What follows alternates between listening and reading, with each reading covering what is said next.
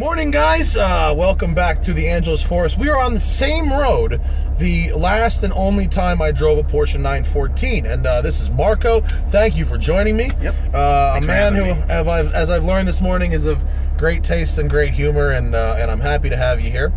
Uh, the last 914 I did was a 1.7. It was a extremely low mile original car, beautiful. I Mm-hmm. mean, it looked like it just rolled off the showroom floor.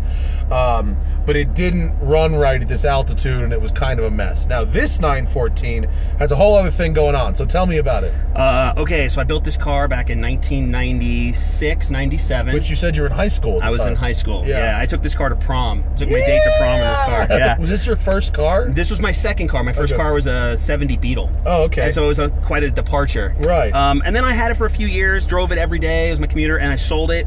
Uh, then a few years ago, a guy called me and said, "You want to buy it back?" So I said, "Sure." It came back to me with no wheels, no seats, and no motor, but it had the close ratio gearbox and all the Uh-huh. 914 six sheet metal.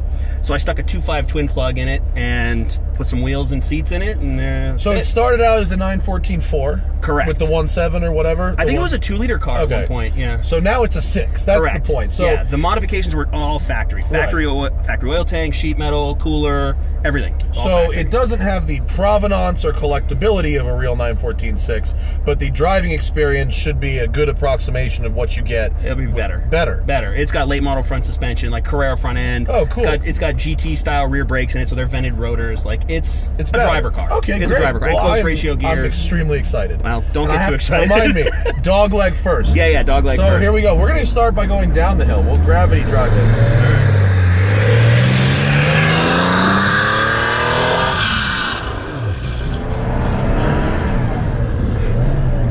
Oh, so There's that fourth. fourth auto, I, Yeah. I, my first shift. We'll start with the gravity drive. So, as I said the last time I drove these cars, I developed an irrational hatred of the 914 kind of early. I always thought it looked flimsy. Ah, But yeah. then I drove that one and realized it's actually not flimsy, and it's kind of wonderful. They get flimsy when you take the top off. Uh, Then you know, there's nothing holding the front and back together.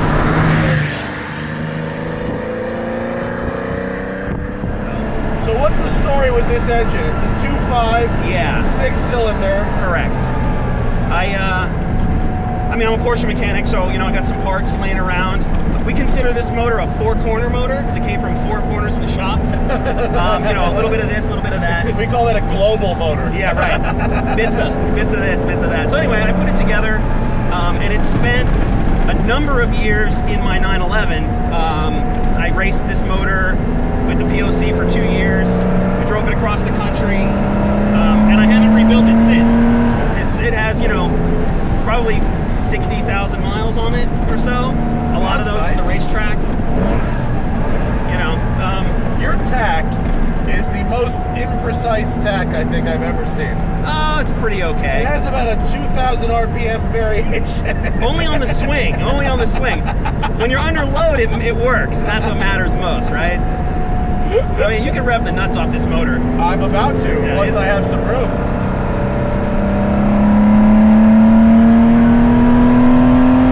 That sounds nice. Still getting used to the brakes and stuff. Yeah, no problem. Forgive me. So you've had this car for 30 years almost, huh? Almost. I mean, again, I, I let it go for a few years. Uh, it was seed money to build my 911, um, which I subsequently drove and sold. So, That sounds the business. uh, it's- So for those who don't know, explain what a twin plug motor is. Uh, well, it's a twin spark, right? So Porsche motors are typically uh, single plug, single single spark plug. When you raise the compression and you know you want to squeeze it a little bit, you want to be able to dial back the timing uh, and make it run more efficiently. So you add a second spark plug, so you get a full burn in the combustion chamber. That's the short story. The long story is, it's more expensive. it's a lot more expensive when someone says they have a twin plug. Well, I love the way it revs. It's really, really good motor. Yeah, I mean, again, a lot of these parts are just been laying around, so they're they're pretty used up. Uh, but one of the like pride Porsche, like uh, one of the things I find the most fun about the car um, that I have an original Marelli twin plug RSR distributor Okay. that I've acquired over the years, and it's really cool that this old piece of technology is still running my car. Yeah. You know. Well, that's just something very special there, that engine.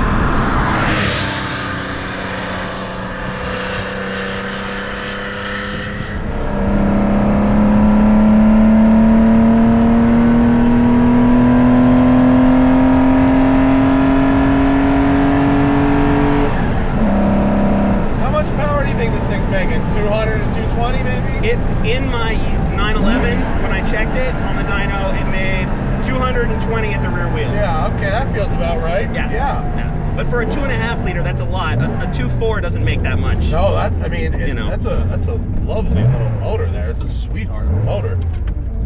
I like this. And remember, The, uh, I've, I've had this thing together for a lot of years. It's done a lot of miles. Dog leg first. Dog leg first. The uh let's try and go second. There's second. Nope, Is that fourth? that's fourth.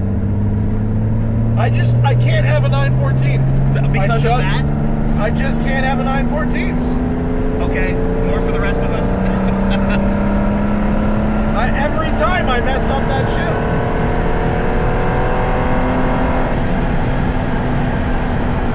But the chassis feels nice and sorted and balanced. yeah, it's okay. I mean, it's not a race car; it's a street car. No, it's a street car. It's real fun though. You know, it, it has just enough uh, spring in the back. It has just enough front torsion bar. Uh, no rear sway bar. Um, it's a canyon car, and, and it's also a commuter. You can drive this car every day. You know, it doesn't Oh run boy, hot. this is what a normal speed looks like on this road. This Yeah. is not going to work for me. I don't think it's going to work for them either. Uh, is They're this looking gonna for a work for me? pullout. Oh, please use this turnout. No, no, no, no, no! Why do I flash? You can't. The headlights are No down. flasher. well, we stop. That's how that works. Yeah. don't, I don't. I don't. I don't have that kind of patience today. No, you just gotta wait it Uh, out. we'll wait it out. We'll be right back. The what? The stock car? Uh, no, the white turbo. Oh yeah. Here we go. Second. You got it. I took your advice. Yeah. So to find second, you get it into the middle and then up against the detent and then forward. That's the move. But it feels like it has actual acceleration up the hill. Yeah. Oh yeah, it's got power.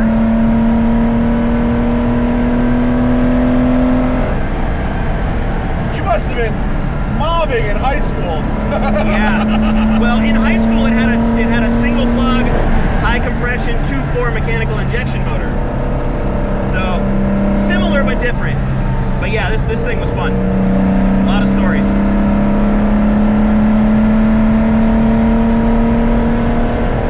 I'm a fan, Marco. This thing rips.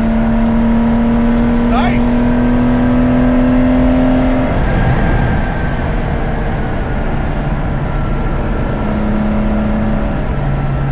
I could listen to that motor all day. Now you gonna let me by, homie? What do you say? Turn out. Turn out. Hey. Good call.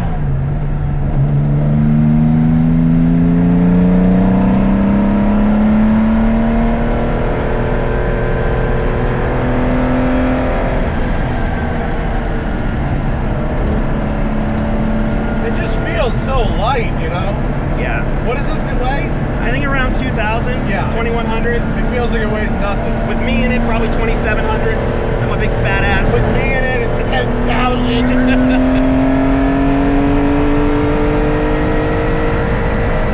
What's redline? I don't know. 7,500? When it was in the race car, I ran it to about 8, but it stops pulling at around 72. So, And it's so light that the uh, no power steering, no power brakes, doesn't really matter. Yeah.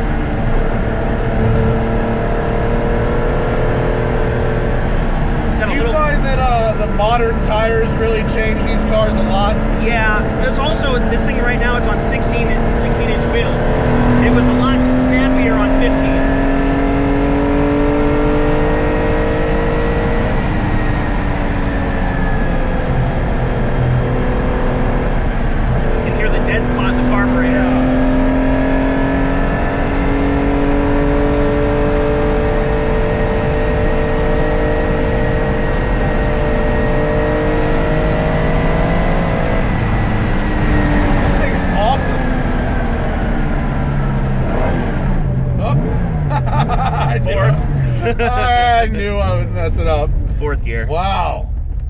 I still I still can't figure out this gearbox, but wow, what a world of difference six cylinders makes in one of Yeah. these, huh? Absolutely. That's actually a pretty pretty quick little car. Yeah. That I was feels we were good. going uphill too, so it was yeah, really- not bad, not bad, man. And these things like temp doesn't move, just always the same.